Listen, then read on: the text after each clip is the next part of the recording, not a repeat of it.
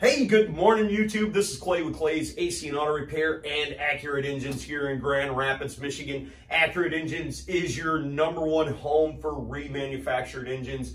If you've got a question on the difference between a remanufactured engine and a rebuilt engine, I'll be happy to answer them. Just hit me up on Clay's AC and Auto Repair on the Facebook Messenger. If you want to reach out to these guys and say thank you for sending this video our way, please, please do so. It makes me look better, obviously.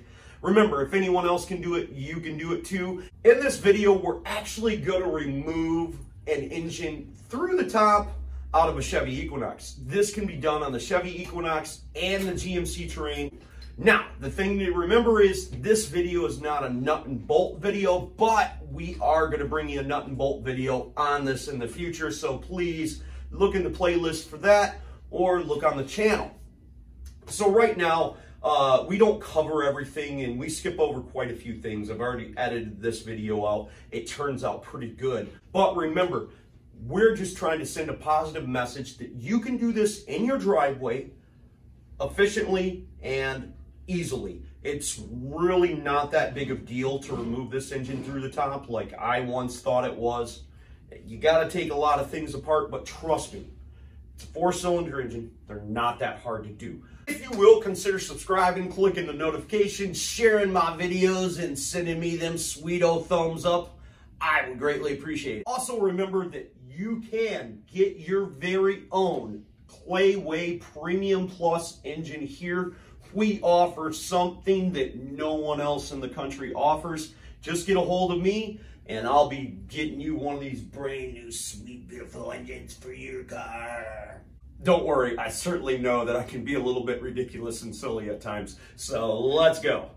Hey, what's up YouTube? This is Clay with Clay's AC and Auto Repair and Accurate Engines here in Grand Rapids, Michigan. This gentleman right behind me, his name is Frank and he is the master technician over here at Accurate Engines.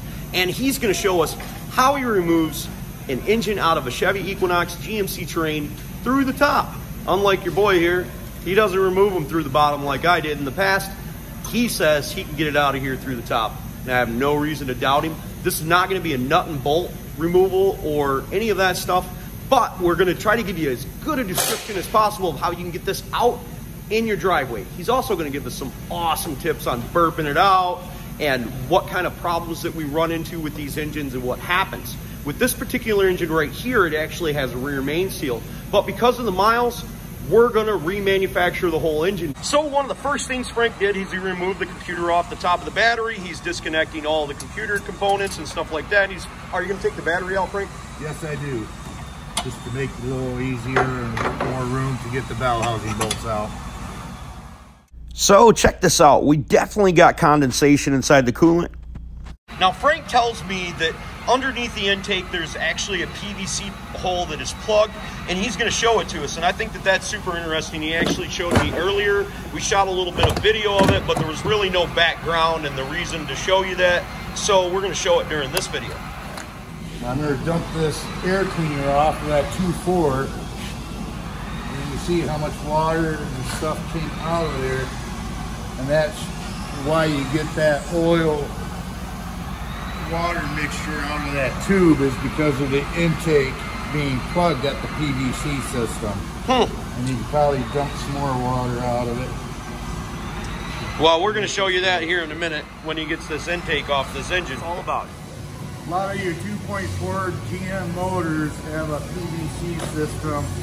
You get a lot of oil in the intake or water buildup in the uh, air filter housing. It's because of the PVC hole here is plugged up. You don't want to make the hole too big. You just want to use a little pick, run it down there, and just kind of clean out the hole, and then blow it out with some carb cleaner and a blow gun, and it should be good. Um, if you make it too big, you'll get a weird noise in the intake system because it's got way too much vacuum. So you just want to use a real small pick and just kind of pick it through there and, and that's it. What does this problem actually cause? Loss of oil, smoking out the exhaust, and your, your basically your intake will be full of oil and as well as your air tube coming off the throttle body will be full of oil. Huh. as well. That's interesting. Well, thanks, Frank. We appreciate it. And I'm sure people out in YouTube land will absolutely love it. Now we're going to disconnect everything that we can see on the top of the engine from the engine itself. It's going to remove all the bolts from the intake, removing the throttle body assembly, 5 16 fuel line remover tool. Uh, you're going to need to pick that up. There are a couple bucks at any parts store. You push the tool into the line towards you and then push the line towards the tool and then pull it back. Now he's got a simple set of pliers and he's going to work this hose off this line. The wires that are connected to the brackets need to be removed. Okay, so what we've got is we've got a ground wire back there on the, is it on this part of the head or is it on the back side? It's on the back side, facing towards the front. Okay. And sometimes the bolt likes to stick on the eyelet of the ground wire. So you kind of want to pull on the wire as you're turning the bolt out. Frank is going to start sweating because he tells me that he can have this engine out in 45 minutes. I don't believe him personally. I think he's going to be closer to like two hours, two days, or something like that. But we'll just have to see what happens. I'll let you know at the end of the video how long it actually took him. So you guys can see that bolt is hanging down right there. That's the one we were talking about. Okay, so Frank removes the O2 sensor so he can get the exhaust cover off because the catalytic converter bolts to the downpipe of the exhaust. And he's actually going to remove the exhaust manifold, I'm assuming, from the rear of the engine prior to repulling the engine. No.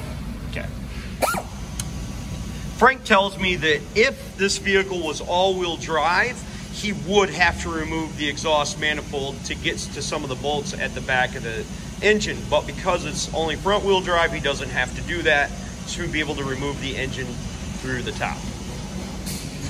Now, one of the other things during this process is we're gonna remove this cover that covers our high-pressure fuel pump.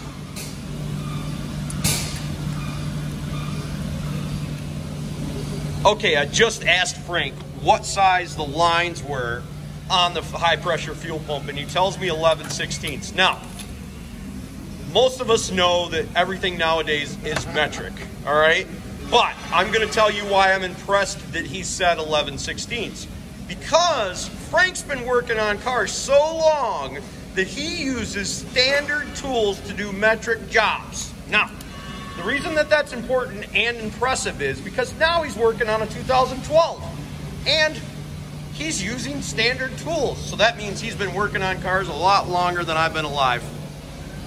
I loosen the motor mount. I take the two big 18 millimeter nuts off. And then I take the two 15s out and I leave one 15 bolt in there just to support the engine so I can do the rest of the work. Okay, so Frank tells me this is as far as he's going to go with the top. I'm going to give you a little bit of overview, and he tells me the reason that he's not done anything with the coolant yet is because when he's working underneath, he doesn't want to have coolant dripping all over him. So that makes sense to me. And you can see that we basically just did some wiring, disconnected the shield, got the catalytic converter bolts out of there, and so forth and so on. There's nothing that you guys couldn't see at home that he's done yet to this vehicle that was super special. Okay, there's seven bolts that hold down the intake, and once you remove that, we can start removing the serpentine belt off of the engine. We are going to remove the AC compressor and the alternator from the engine. Down there on the tensioner assembly, you just insert your ratchets 3 8 square and you can loosen the serpentine belt. You will turn the ratchet clockwise to loosen the serpentine belt.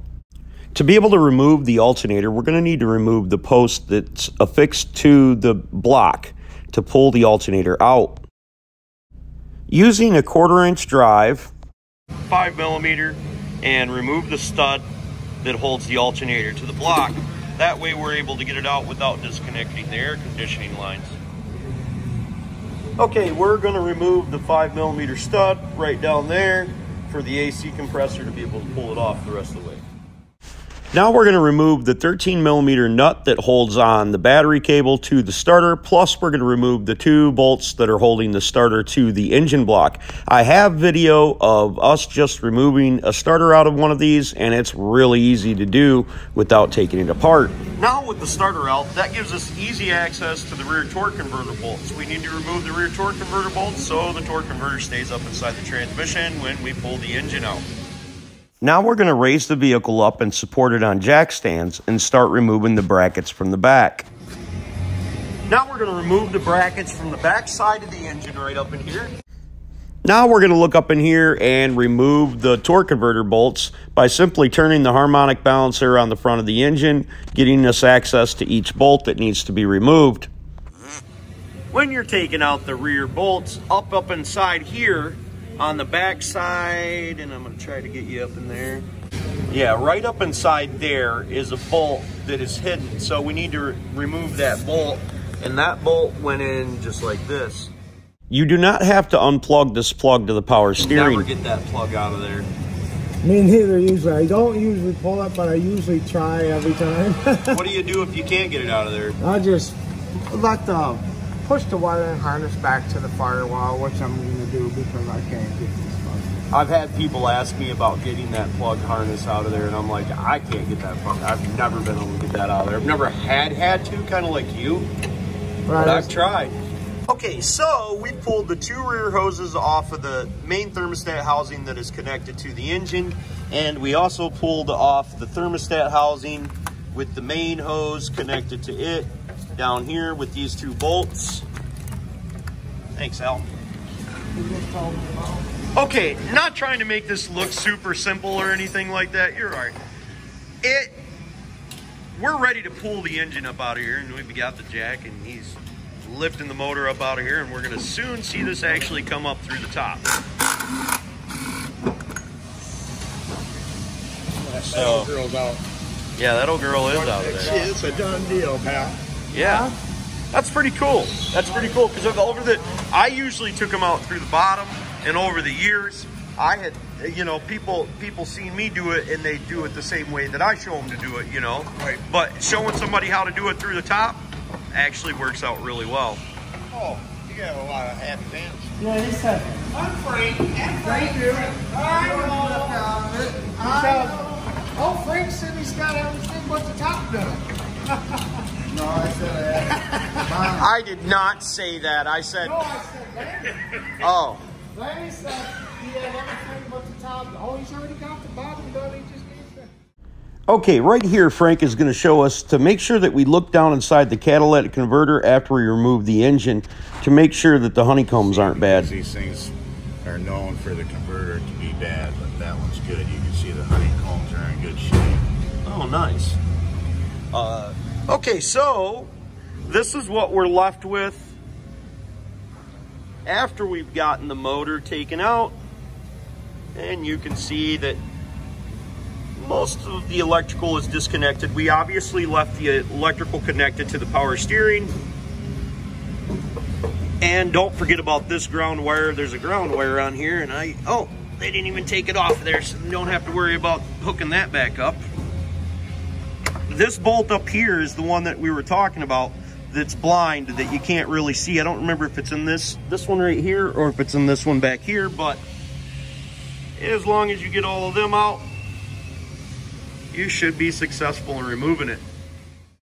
Make sure when you're reinstalling the engine that this clamp is backwards. Frank is going to explain.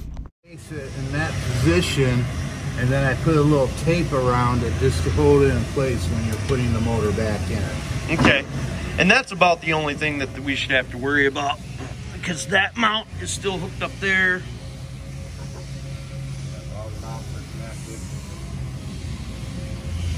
And you don't really have to unplug that.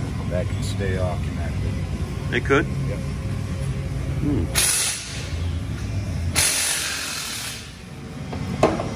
One other thing, Frank pointed out that on these exhaust manifolds, they like to crack, and I think we can see that that's evident right here. We've got a small crack, and how we can tell that is because it's black and the rest of it's rusted.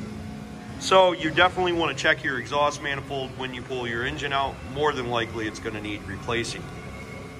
Hopefully you guys enjoyed the video. If you have a question for me, hit me up on Clay's AC and Auto Repair on the Facebook Messenger. Reach out to Accurate Engines and tell them that you appreciate the Clay Way bringing you this video, saving you a couple hundred dollars from taking it to the repair shop. Hopefully you feel a little bit more informed and you can thank Mr. Lanny Hassel down here at Accurate Engines for paying for this video so you guys could see it. God bless and have the greatest of days. And remember, if anyone else can do it, you can do it too. Don't be the next of them be the first of you.